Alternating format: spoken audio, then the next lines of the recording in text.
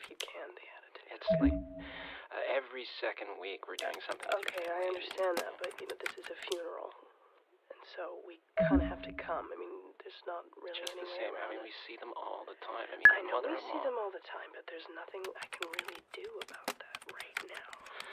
Oh God. I mean, can we leave? Like, when can we leave? When's it gonna be safe to I leave? know that we're supposed to be nice to each other, and I'm having a really difficult time being nice to you because I want to rip your fucking head it? You know what? I see there's a free seat over there. Do you want to go and sit over there?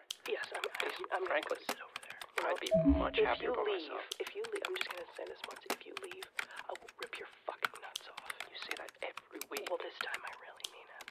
Okay? Don't fucking move. This better be the last time.